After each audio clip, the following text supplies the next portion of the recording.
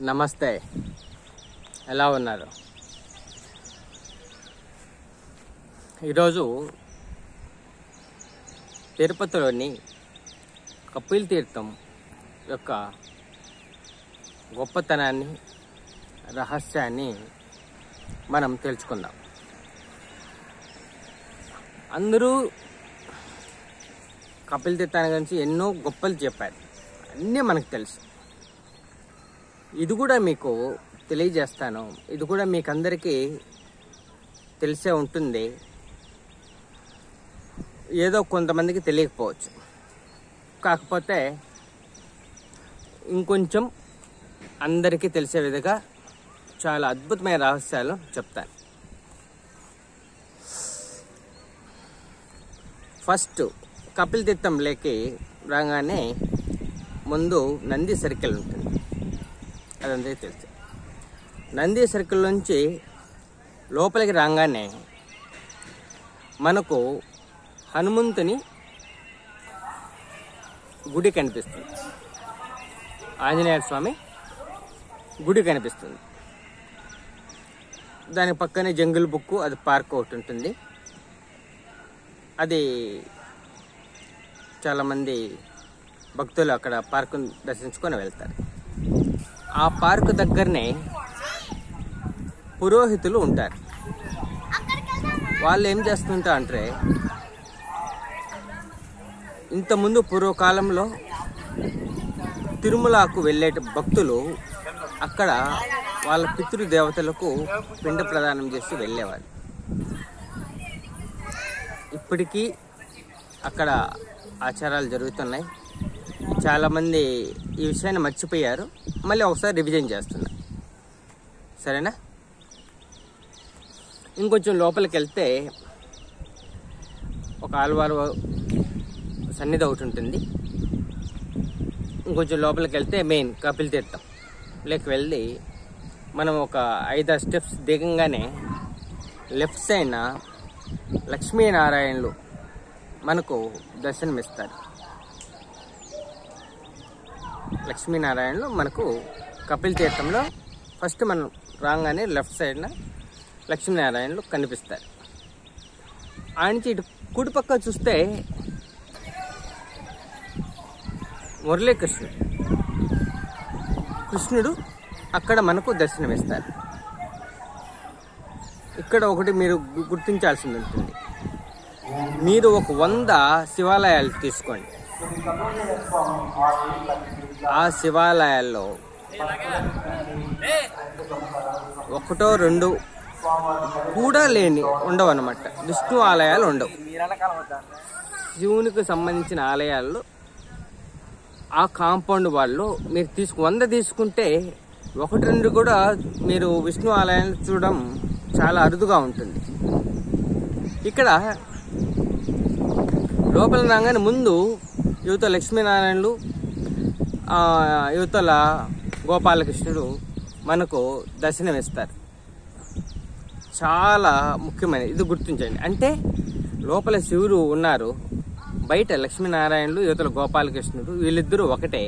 కానీ శివకేశవులు వేరేగా వేరే వేరే అనేది ఇక్కడ మనకు వీరిద్దరూ ఒకటే అనేది మనకు తెలియజేస్తుంది అనమాట వీళ్ళిద్దరు వేరు కాదు ఒకటే అనే సంకేతాన్ని మనకు తెలియజేస్తుంది.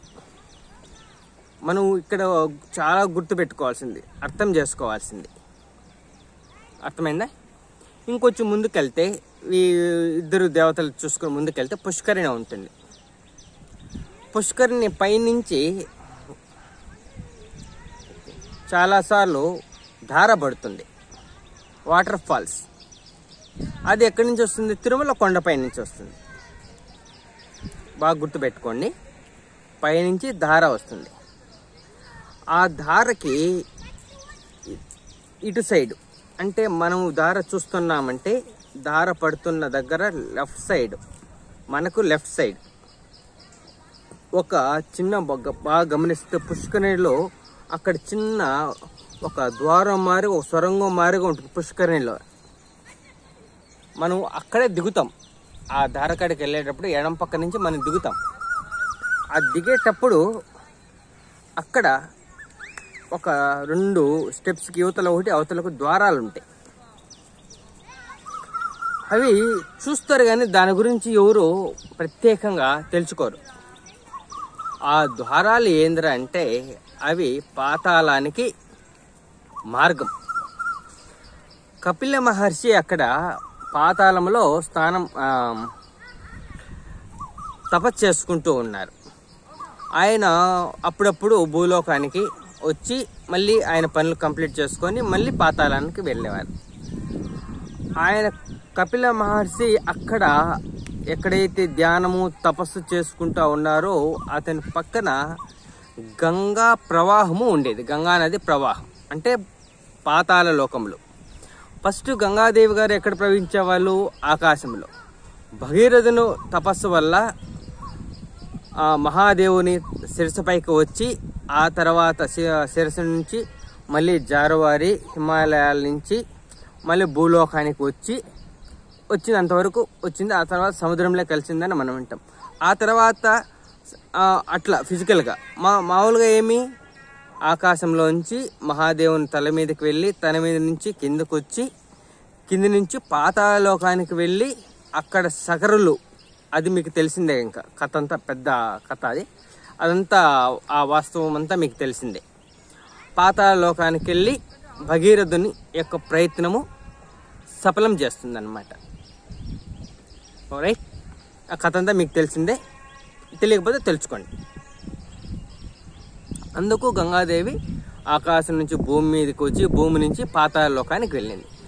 కపిల మహర్షి ఎక్కడైతే జపము తపస్సు ధ్యానము చేసుకుంటా ఉన్నారో అక్కడ ప్రవహిస్తున్న గంగ ఒకనాడు కపిల మహర్షి ద్వారా ఆ- ఆ సొరంగ మార్గం కూడా పైకి వస్తుంది. అందుకు ఆ ద్వారము అక్కడ ఉంది. అది ఒకటి గుర్తుపెట్టుకోవాలి. లోపల ఉన్న శివలింగం ఇక్కడ స్థానం ఫస్ట్ మొదటి స్థానం ఎక్కడంటే పాతాళ లోకం. ఆ పాతాళ లోకంలో మహాదేవుడు ఉండేవాడు. అంటే శివలింగము కపిల మహర్షి పూజిస్తున్న శివలింగం అంటారు.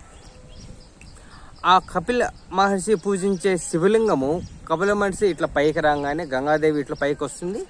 ఇట్లు కూడా ఆ తనంతట తాను పాతాళ లోకం నుంచి భూలోకాన్ని పైకి వస్తుంది. అప్పుడు ఒక కామధేనువు పైకి శివలింగం పైకి వస్తుంది. అది ఎంతవరకు వెళ్ళిపోతుందని తన పాదాన్ని కూడా శివలింగం మీద ఉంచి ఇంకా పెరగకుండా ఉండేటట్లు చేసిందని మన పెద్దలంతా చెప్తా ఉంటారు. రైట్ ఇవి చాలా ముఖ్యమైనవి ఇంకొకటి వచ్చేసి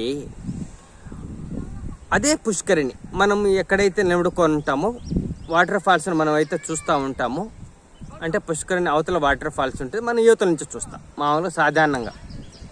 అక్కడ ఎడం పక్కన మనం పుష్కరిణి స్నా స్నానం చేయడానికి అదే వాటర్ ఫాల్స్ జలపాతాలతో మనం స్నానం చేయడానికి ఎట్లయితే మనం లెఫ్ట్ సైడ్న వెళ్తామో అక్కడ గమనిస్తే వెళ్ళేటప్పుడు లెఫ్ట్ సైడ్న పైకి స్టెప్స్ ఉంటాయి. పైన ఒక మండపం కూడా ఉంటుంది. ఇక్కడి నుంచే మనం చూడొచ్చు అనమాట ఆ మండపము అక్కడ ఒక ద్వారము కటాంచనము ఉంటుంది. అది ఒక మూత వేయబడి ఉంటుంది కింద పైన. అది ఏంద్రా అంటే అక్కడి నుంచి స్వరంగము వచ్చేసి తిరుమలకు ఉన్నది అని అంటారు.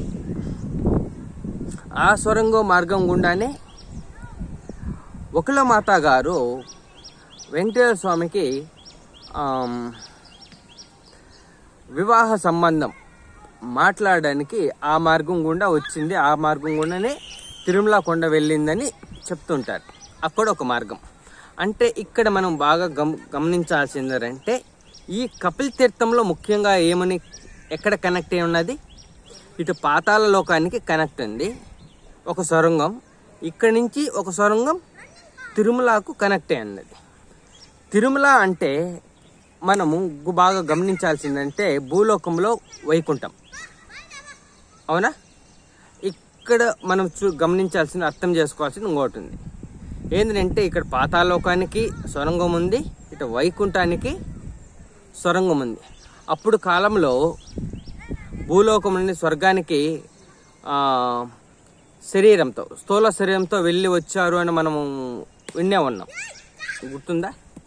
కొన్ని పురాణాల్లో మన పెద్దలంతా చెప్తూ ఉంటారు. అదే మాదిరిగానే ఇక్కడ కూడా ఈ స్వర్గం గుండానే ఇది తిరుమల మన వైకుంఠం అనుకుంటే వైకుంఠానికి మార్గం ఉంది పోయి రావడానికి ఉంది. ఇంకొకటి కూడా మనము ఒక ఇంకొక వైకుంఠానికి ఇంకొక మార్గం కూడా ఇంకొకసారి నేను తెలియజేస్తాను. అది అలిపిరి ద్వారా నుంచి ఎట్లా అనేది అది కూడా మనం ఒకసారి ఒక వీడియోలో మనం తెలుసుకుందాం. సరేనా? ఇప్పుడు ఇది మనం తెలుసుకుందాం. సరేనా? ఇది మీకు అందరికీ కపిల్ తీర్థం యొక్క గొప్పతనం. నేను సింపుల్గా చెప్పాను. హై లెవెల్లో చెప్పకుండా లో లెవెల్లో మీకు అంత అర్థమయ్యేట్టుగా. సరేనా? ఈ విషయాలు మీకు బాగా నచ్చినట్టయితే పది మందికి తెలియచేయండి. కపిల్ తీర్థం యొక్క గొప్పతనాన్ని పది మందికి తెలియచేయండి. ఇటువంటి వీడియోస్ని మీరు సబ్- సబ్స్క్రైబ్ చేసుకోండి. ఈ వీడియో ఈ ఛానల్ని కాకుండా వేరే ఛానల్ కూడా ఆధ్యాత్మిక ఛానల్ భగవంతుని యొక్క అనుగ్రహాను భగవంతుడితో నేను కనెక్ట్ అయినట్లు నేను భావిస్తాను. ఎవరైతే పది మందికి ఇట్లాంటి వీడియోస్ మీరు షేర్ చేస్తారో భగవంతుని యొక్క ఆశీస్సులు కూడా మీకు లభిస్తాయని ఆశిస్తూ మీరంతా బాగుండాలని ఎల్లకాలం సుఖ సంత సంపదలతో ఉండాలని మనసారా కోరుకుంటాను.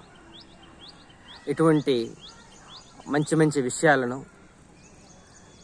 మీకు రహస్యాలను మన మానవులందరూ అభివృద్ధి చెందడానికి ఏదన్నా ఒక మంచి ఆలోచన మంచి మాటలు ఏమన్నా మీలో దాగి ఉంటే అవి మీలోనే నిలిచిపోకుండా పది మందికి చేరడానికి మీలోని ఆ మంచి మాటలు ఆ దైవతత్వపు మాటలు ఆ వచనాలను పది మందికి ఒక వీడియో రూపంలో కానీ ఆడియో రూపంలో కానీ టెక్స్ట్ రూపంలో కానీ మీరు పది మందికి తెలియజేసే విధంగా మిమ్మల్ని ఆహ్వానిస్తున్నాం. మీలోని గొప్పతనాన్ని మీలోని మంచి మాటలను పది మందికి తెలియజేసి వాళ్ళ అభివృద్ధికి కూడా మీరు సహకరిస్తారని